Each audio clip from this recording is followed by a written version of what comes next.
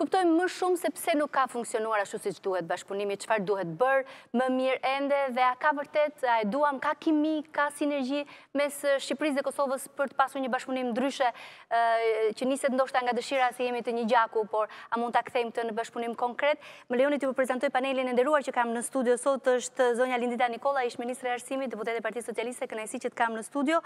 Ju keni pas një nga sektorët e vështirë për të përafruar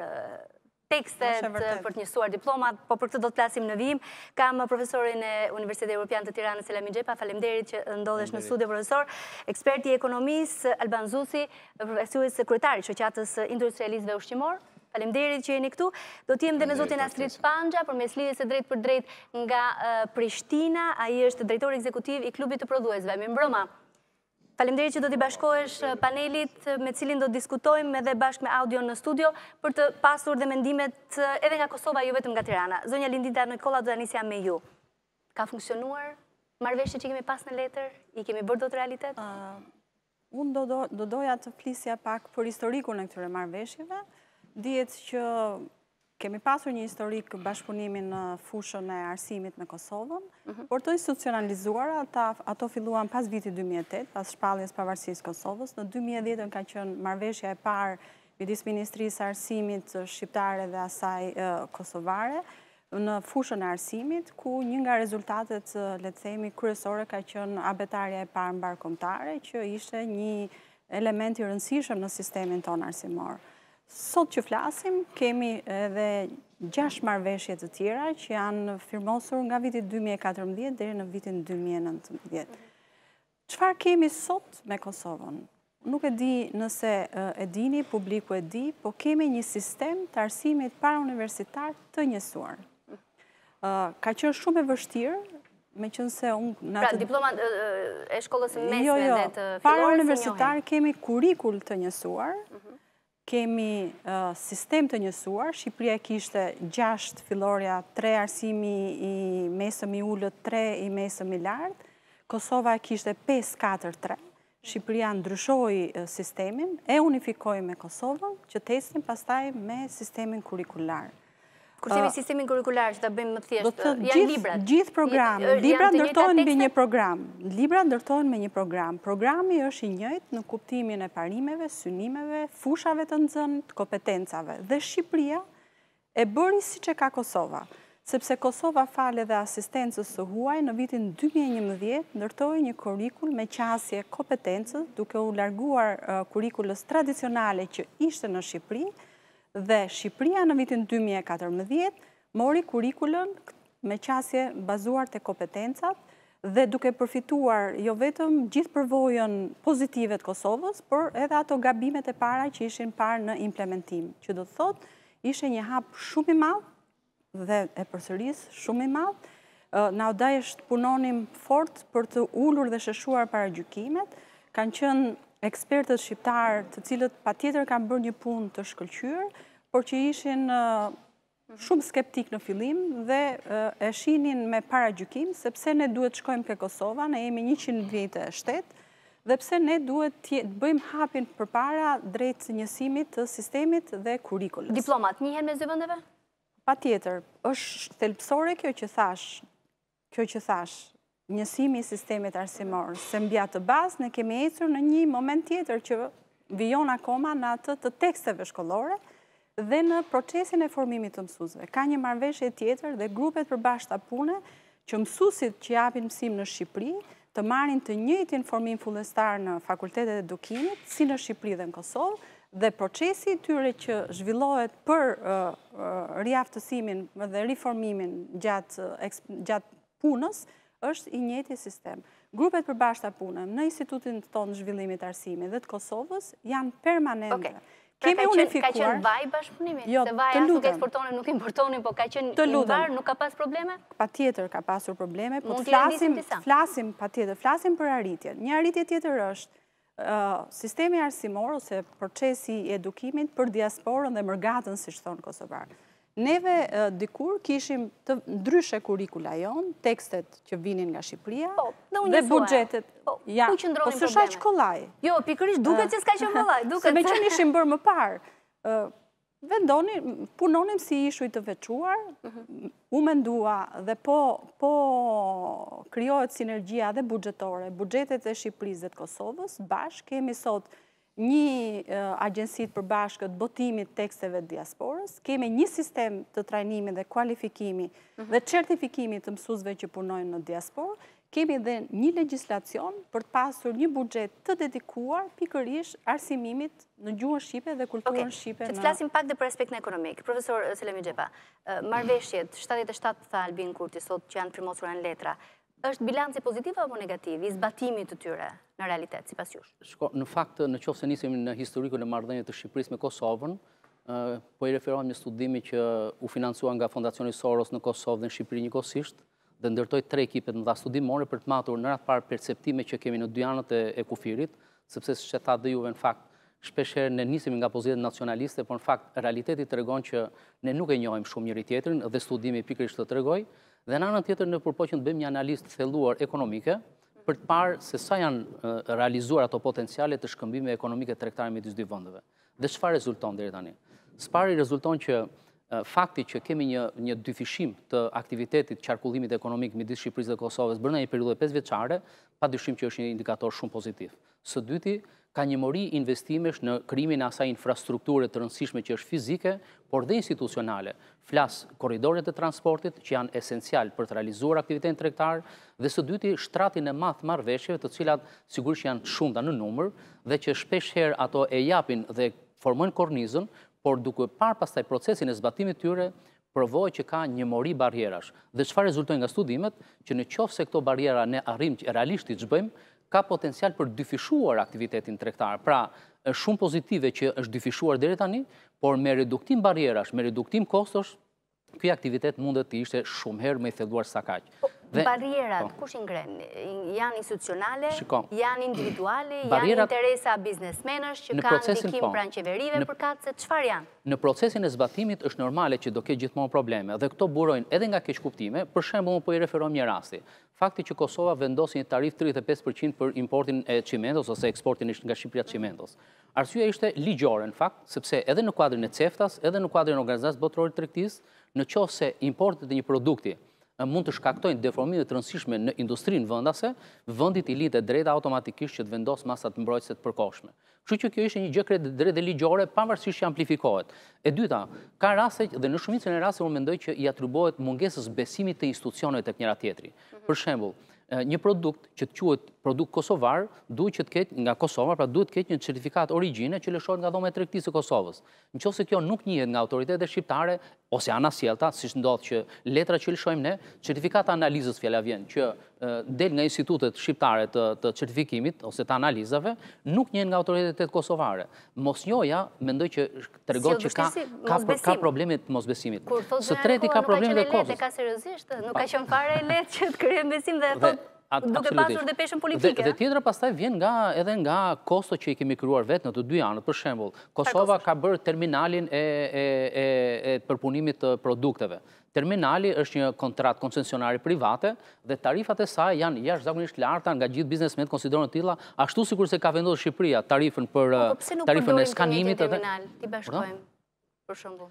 Më e mira do të ishte dhe unë mendoj që... Kishim një tarifë, mos paguanim dy tarifa. Për të arritur atje ku do të arrij, ku doja të dal, unë është që tregtia midis Shqipërisë dhe Kosovës duhet konsideruar si tregti e brendshme. Në ça kuptimi? Po. Në qoftë se një tregtar, një importues nga Kosova, dëshiron që të blejë zarzavate në Lushnje, Ai të mund të ngarkojë kamionin dhe me atë dokument pa patur nevojë që të kryjë procedura ekstra doganore, ta shkarkojë direkt në vendin e tij. Pra ne mund ta realizojmë një gjë të tillë. A është e mundshme të realizohet kjo apo nuk na lënë partnerët ndërkombëtarët se në fund të fundit jemi dy shtete dhe ka barriera që duhet t'i respektojmë, qoftë edhe për tregtinë e lirë apo pengesa të tjera? Kjo është barriera, kjo është barriera kryesore, dhe do të thoja e vetme që nuk bëhet thjesht sepse Ata njerëz që kanë terminale duan të ardhurat e tyre. Pa diskutim që edhe kjo është. Apo është më e madhe se kaq. Jo, edhe kjo besoj se është, por unë besoj, jo i re, i re në kokë, i re goxha në kokë, por unë besoj se është edhe paksa mungesë vizioni ndoshta në në teknicienët që duhet ta zgjidhin këtë këtë çështje. Mhm. sepse unë e kam hasur këtë situatë, e kam hasur këtë lloj kontestimi, pikërisht në nivelet teknike. Janë nivelet pra, teknike ato që shpeshherë, që shpeshherë e bëjnë, e bëjnë gjasme të pamundur. Unë do të thoja vetëm kaq, imagjinojeni Europën, sot, se si është, imagjinojeni të, të vendosë edhe një herë traun, nëpër pikat e kalimit kufitar.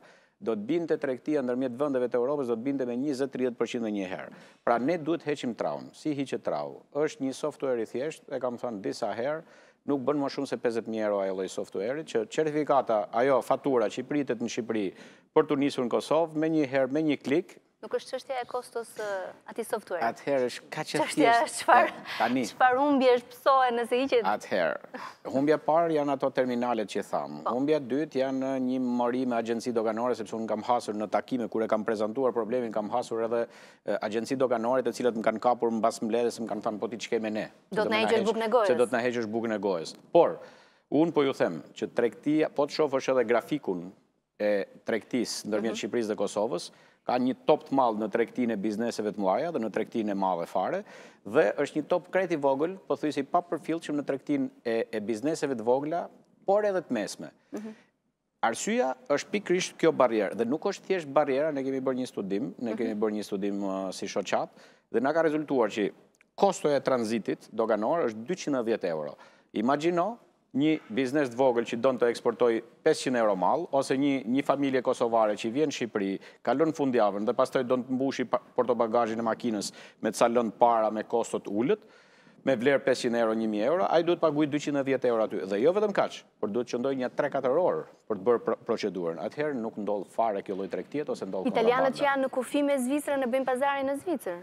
se nuk paguajnë taksa. Kaq, pak të mund të marrim një shembull konkret, a bëjmë të të pyesim pak Astrit Panxhën, drejtorin ekzekutiv të klubit prodhuesve në Prishtinë. Astrit, si është situata atje? Çfarë ju pengon? Ça barrierash ka? Këto shqetësime që po ndajmë këtu në studio në Tiranë, janë të njëjtat në Prishtinë? Po shiko, në qoftë se i analizojmë shkëmbimin tregtar mes Kosovës dhe Shqipërisë, shohim që ka një rritje shumë më të madhe të eksporteve të Shqipërisë ndaj Kosovës, sesa të Kosovës ndaj Shqipërisë. Në qoftë se shikojmë investimet që ndodhin nga kompanitë e Kosovës në Shqipëri, po ashtu janë shumë më të vogla sesa investimet që ndodhin nga kompanitë e Shqipërisë në Kosovë. Shqipëria në Kosovë është prezente në kompanitë e sigurimeve, në ndërtim, në shumë aspekte, në banka, tash është licencu edhe një bankë Nga Shqipëria, do të thotë, Shqipëria është shumë ma shumë prezente në në tregun e Kosovës, sesa Kosova në Shqipëri. Pse ndodh kjo? Nuk janë vetëm problemet, barrierat administrative dhe barrierat tregtare që e ndalojnë, themi, rritjen e këtij shkëmbimi tregtar mes dy vendeve. Po janë shpesh edhe interesat e ngushtë në në dy anët e kufinit që bllokojnë sektorë të caktuar. Për shembull, ne gjithmonë kemi mbajt konferenca të ndryshme në Tiranë ku e kemi ngrit çështjen e e miellit të Kosovës që eksportohet në Shqipëri. Gjithmonë ka pas një sulm medial apo edhe administrativ ndaj këtij mielli, sepse ka pas interesa të ngushtë në Shqipëri që e kanë mbrojtë me çdo qëllim importin e këtij produkti.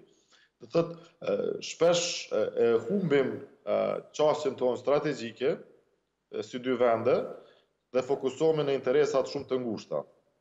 Marrim shembull Letoninë dhe Lituaninë që kanë një numër përafërsisht të ngjajshëm të banorëve si Kosova dhe Shqipëria. Shkëmbimi tregtar mes këtyre dy vendeve është shtatë miliardë euro.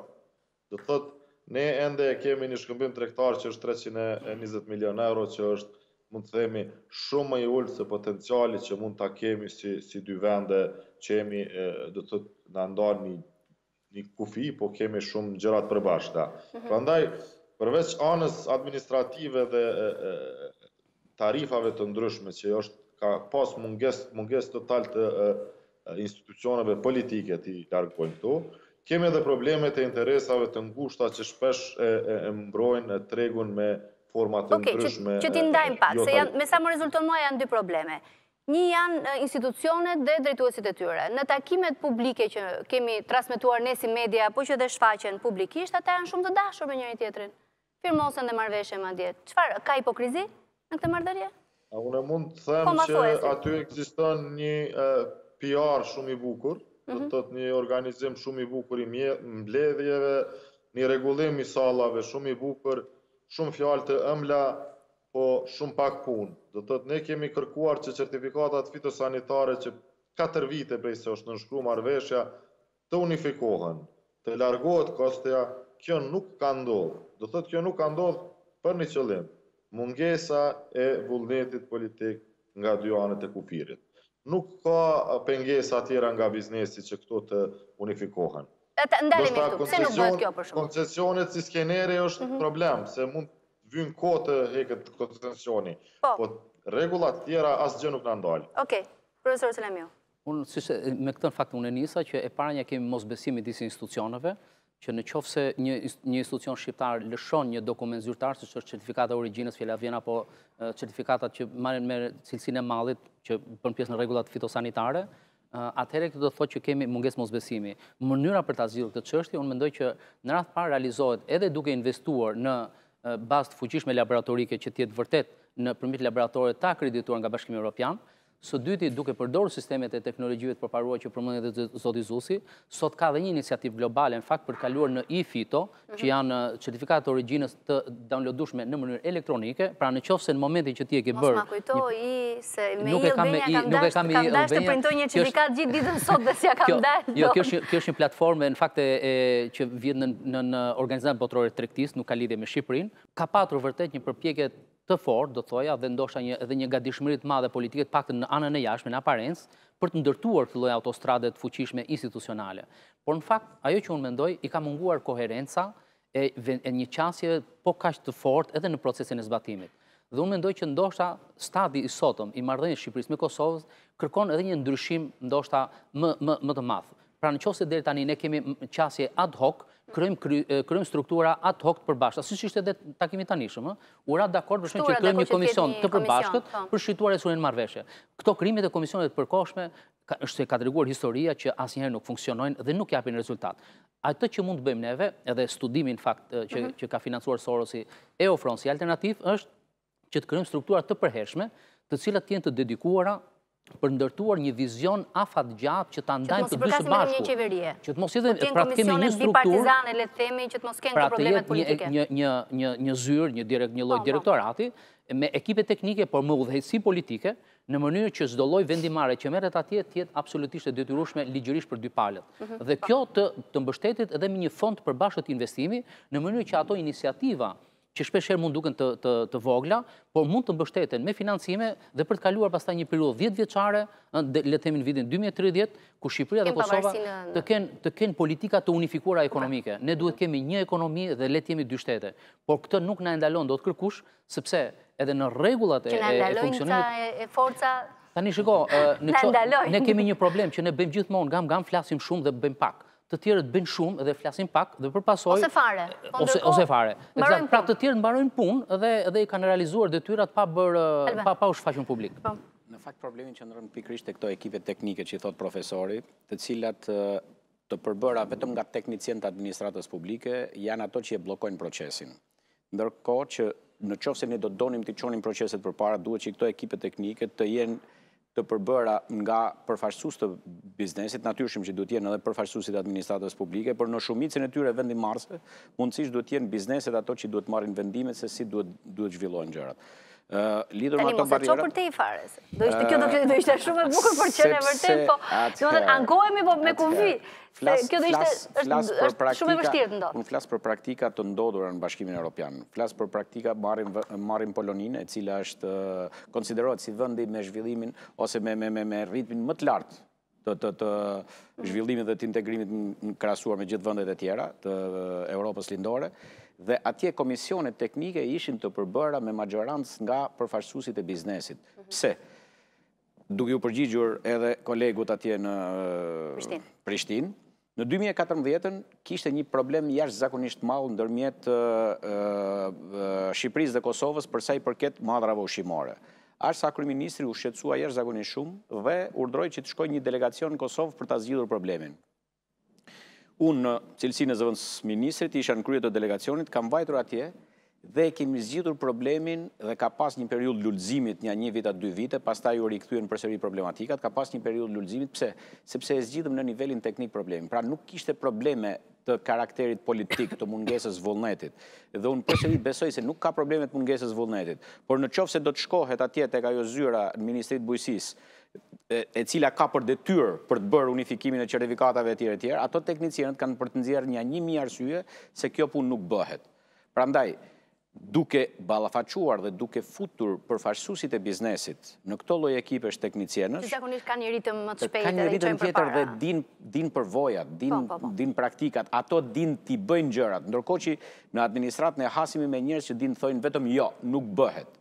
Pra, ky është problemi kryesor, nuk është problem i vullnetit, sa është problem i... Kur zbret pastaj në terren për ta zbatuar. I padijes në nivelet teknike për të bërë. Zonja Nikolla, mund të funksionojë një komision, komitet i përbashkët? Jam shumë dakord, jam shumë dakord dhe kjo madje është thënë nga Kryeministri Rama që do të kemi një komitet ndërministerial për ndjekjen e gjithë akordeve të bashkëpunimit që kemi me Kosovën. Por për të ardhur tek PR-i dhe mhm. tek gjithçka që është thënë, unë lejomëni modestisht të përmend faktin që është folur shumë për abetaren mbarëkombëtare dhe të gjithë e dimë që është një sukses. Mhm. Ndërkohë që në këtë bashkëpunim që ne kemi pas me Kosovën, kemi mundësuar që gjithë tekstet të jenë Me një program të përbashkët, kemi mundësuar që gjithë sistemi 12 vjeçar i arsimit parauniversitar të jetë i unifikuar dhe pak flitet.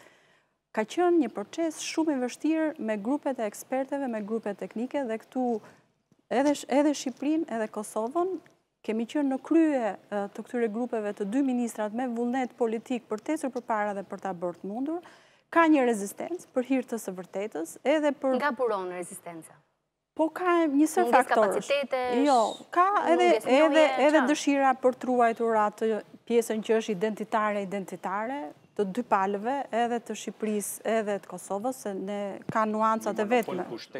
Ka nuancat, nuk mund të themi, ne vërtet jemi një komb, po kemi nuancat tona historike, Dhe janë, duan secila palë të tërheqë më shumë nga, nga vetja. Kjo është një lloj uh, ndjesie dhe shije që mua më ka mbetur, por ajo që është e rëndësishme ta themi përpos uh, nihilizmit, duhet të themi që është bërë goxha progres.